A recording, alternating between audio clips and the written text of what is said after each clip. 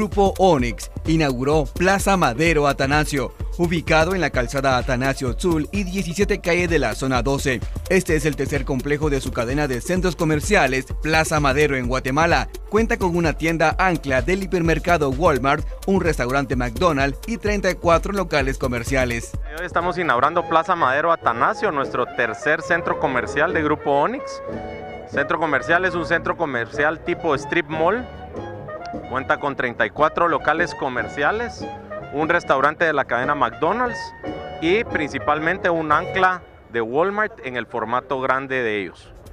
Este nuevo centro comercial busca dar cobertura a este sector de la ciudad de Guatemala, ofreciendo una mezcla comercial que permite satisfacer todas sus necesidades de conveniencia. Estamos en la fase final y eh, la verdad es que cada uno de los restaurantes que abrimos es muy importante para nosotros.